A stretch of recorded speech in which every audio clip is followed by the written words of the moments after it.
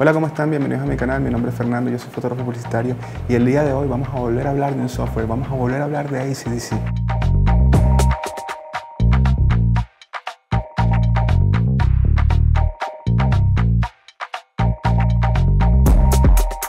Como se los prometí en el video pasado, este iba a ser el video para hablar del revelador. Créanme que estoy fascinado, tengo un mes probándolo y estoy encantado con este revelador. Es súper rápido, súper versátil y tiene unas capacidades increíbles. Pero lo más increíble que tiene, por supuesto, es el precio. Cuestan solo 97 euros. Pero bueno, no quiero seguir hablando, vamos a entrar directo al video. El modo de revelar o desarrollo de ACDC es el lugar ideal para poder editar, manipular todas las veces que queramos de forma no destructiva nuestros archivos RAW. Bueno, ya estamos en el módulo de revelado de ACDC. Aquí como podrán ver la interfase es muy similar a los demás. En el panel de la izquierda tenemos varios apartados, entre ellos está general, balance de blancos, light IQ, color IQ, curvas de tono, foco suave, efectos, dividir tono y viñeta.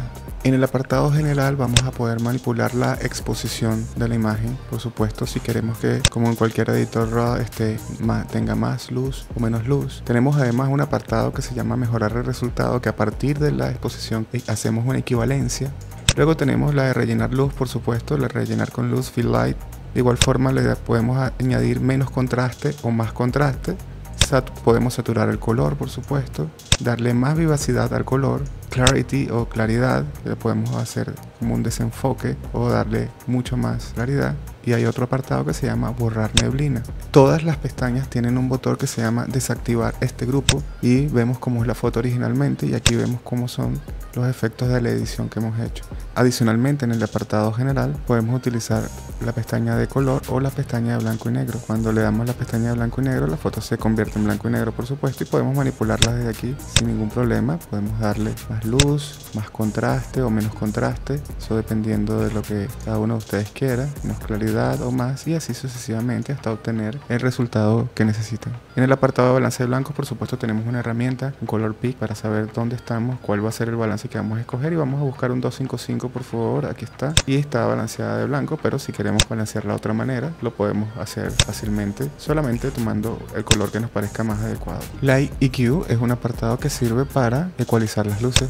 de la imagen menos son, más luz en las sombras, más luz en los tonos medios o menos, o más luz en las partes iluminadas. Y Color EQ es una herramienta que particularmente en ACDC es muy fácil de utilizar porque con esta herramienta, con este selector, seleccionamos el color y empezamos a mover hacia abajo o hacia arriba y él sencillamente va cambiando el color. Lo selecciona aquí, se ve claramente que es un rojo y se está moviendo. Lo podemos saturar o desaturar en el caso de que estemos seleccionados la pantalla de saturación. Por supuesto este revelador tiene un apartado de curvas de tono y funciona como cualquier apartado de curvas de tono. El foco suave es una herramienta muy, muy, muy, muy, buena a la hora de querer hacer algo especial, un efecto especial. Por ejemplo, queremos darle una especie de aura a esta fotografía, le podemos dar más brillo o menos brillo de una manera muy rápida ¿eh? y más contraste y le podemos dar mucho. Es, es muy onérico el, el efecto que se genera con este, con este módulo. En el apartado de efectos vamos a encontrar una serie de efectos ya predeterminados que son muy interesantes. Si le hacemos clic por supuesto tenemos aquí varios, les voy a mostrar dos o tres.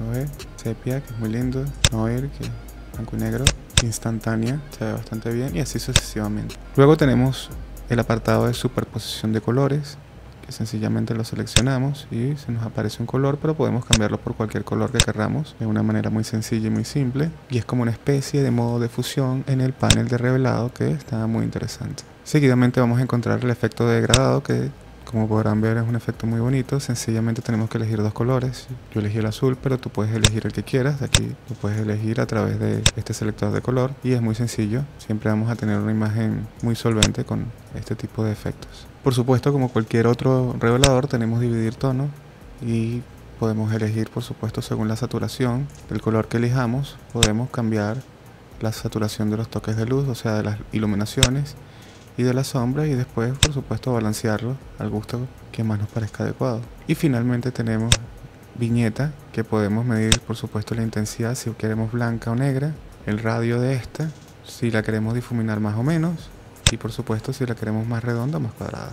Luego del el apartado de ajustes, de todo el conjunto de ajustes, vamos al conjunto de detalles y aquí vamos a poder encontrar todo un apartado que es para darle nitidez, reducir el ruido, ajustar la piel y la, y la aberración cromática. El módulo de nitidez es muy preciso, es muy bueno, le podemos dar mucha nitidez, como podrán ver, agregar ruido para hacerlo cada vez más nítido. Pero por supuesto también le podemos agregar una máscara para que el detalle no sea tan fuerte. Y a esa máscara le podemos agregar más detalle. Entonces quedaría algo así como esto. Que se ve bastante bien. Si por el contrario lo que queremos es reducirle ruido a esta foto, sencillamente, bueno, se lo ajustamos de manera tal que podamos reducirle mucho ruido sin, sin perder nitidez. En ajustes de piel, por supuesto, esta es una herramienta poderosa para poder borrar los defectos de piel muy rápidamente. Y finalmente la aberración cromática funciona como en cualquier revelador. Aquí le damos los valores que queremos corregir en el azul y el amarillo, igual que en el cian y el rojo. Luego los movilizamos los manipulamos y aquí después le decimos cuánto halo queremos que nos quite de cada una de las imágenes y se va ajustando por supuesto eso depende de cada una de las imágenes funciona muy bien. Luego en la pestaña geometría tenemos por supuesto una corrección del lente que podemos habilitarla igualmente la aberración cromática tenemos los datos de la cámara y el lente que fue utilizado pero podemos hacer una corrección manual también por supuesto. Adicionalmente tenemos la pestaña de girar o desplazar la de perspectiva obviamente una pestaña para recortar y otra para darle más o menos viñeta a la foto.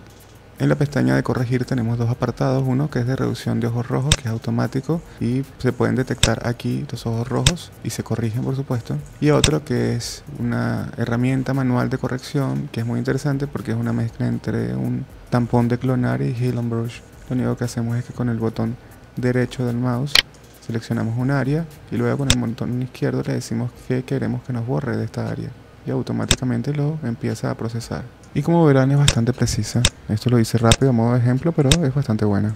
Adicionalmente en la parte superior del panel hay un icono que cuando se activa se aparece una palabra que se llama instantáneas.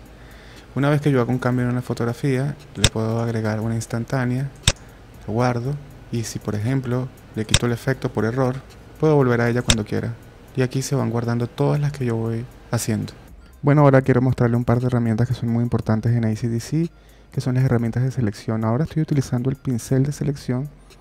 Hay que refinar bien los bordes, por supuesto se puede hacer, para aislar bien la zona que quiero modificar exclusivamente, que va a ser el atardecer. Está muy blanco y lo quiero poner un poco más amarillo y más contrastado. Y bueno, como verán, nada más los cambios los efectúo ahí y suceden. Ahora voy a utilizar la herramienta de selección de degradado lineal y estoy modificando el río porque quiero que quede distinto como estaba, que era así. Ese es el original, ahí el cambio y así estaba el cielo y así fue que quedó. Bueno, mi pequeño saltamontes, espero que les haya gustado el video. De verdad, se dieron cuenta lo bueno que es el revelador, es impresionante, sobre todo por el precio que vale, o sea, 97 euros por esto es, es increíble, no lo puedo creer.